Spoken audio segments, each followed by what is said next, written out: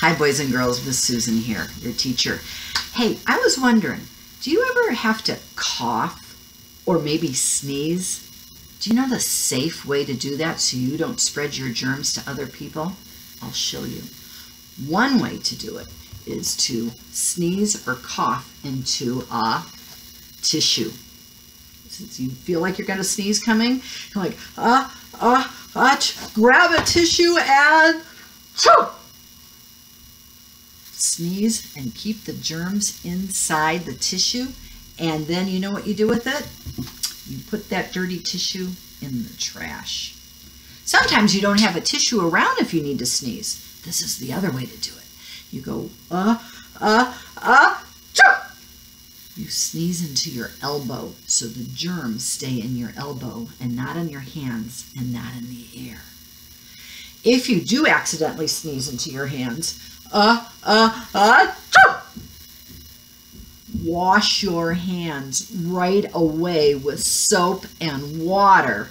Count to 20 while you're scrubbing them. Dry them off really good with a towel and hang the towel or put the paper towel in the garbage. And then you've got all those germs put away. The final, if you cough, it's the same thing. If you've got a cough and you've got a tissue available, you can go and cough into your tissue. What do you do with that tissue full of cough germs? You throw it in the garbage. If you don't have a tissue around, the same thing as with the sneeze. You could cough into your sleeve or elbow. that way the germs stay right inside your sleeve or elbow and don't go all over. And that's a good way to keep your germs safe from getting into other people and getting into the air because germs can make people sick and we don't want to spread around our germs. So you got that? If you've got a cough or a sneeze, use a tissue or your elbow and that's the safe way to do it.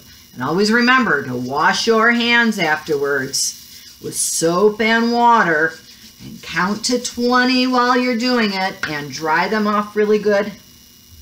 And that way the germs stay away from you and other people. Good job.